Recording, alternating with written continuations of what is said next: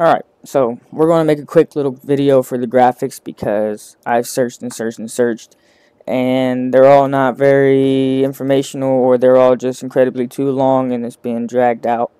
So here's my quick guide to World of Warcraft settings in 2024. A lot of these are optional. This is just what I run. And my my settings are good. I get about 80 to 100 frames per second.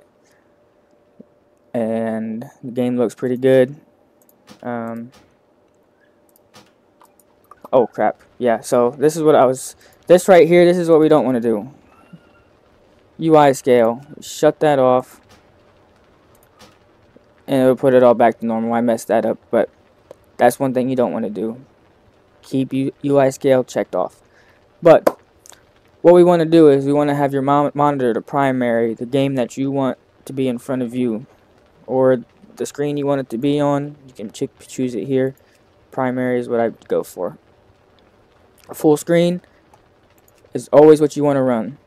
Resolution, you want it to be your native resolution. You can go into your settings, go to display, and you can check your resolution there, and then you want this to match it. VSync is completely optional. You can have it disabled or enabled. I like to have it enabled. Low latency, that is also a optional setting.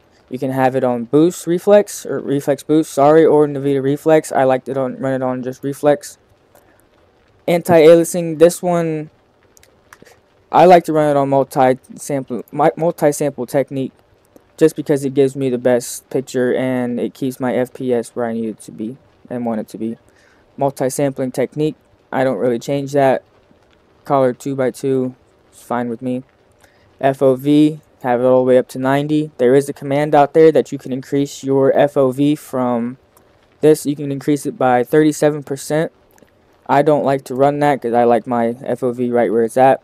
UI scale back to that. Don't check it because it'll do just what happened in the beginning of the video. Alright, so these right here, these are also optional. You can run low. Didn't see much of a difference back there, you know. Well, I mean, you can kind of see a difference, but it doesn't really affect it a whole lot. It jumped me up to about 144 frames per second but I like to keep all my stuff at high settings just to keep it running smooth. Like I said, all this is optional. If you want higher FPS, you can definitely switch, you know, to low. But I like the density. I like the way the game looks. Um, liquid detail, you can put it on fair or good. I again, I like to run everything on high. Particle density. Now this one is is kind of you know, important because all the particles that you really need to get and see, and I feel like if you don't have that where, you know, at least decent, good, then you're not really getting what you can. Outline mode, we like to keep that on high because outline mode is when you go up to say like a quest item and it shows the quest item, it'll outline it. So we like to keep that nice and visible texture resolution high, spell density. Now this can be optional. Essential will be for when you do your spells, you will see your spells. But when others do theirs, like a mage and their mirror images, it won't show them. It only um, it focuses on your abilities. But I like to have it on everything because I like to, you know, just see what everything that's going on these settings here. I'm not going to get too deep into them, but we want uh, filtering texture or texture filtering to be 16. Ray tracing shadows if you have um, Nvidia RTX. I like to keep it on high. I, I don't really know if RTX is in this. So this setting here, ambient occlusion type, keep it on this. Resampling quality, this one's um, optional as well. It just depends on what you like and more. I like to go Fidelity FX, super resolution.